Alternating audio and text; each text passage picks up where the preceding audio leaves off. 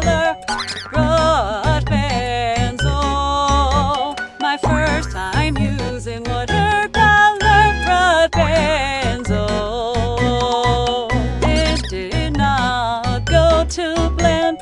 It did not go to blend. It did not go to blend. It did not go to blend. Oh, well, at least we tried. Oh.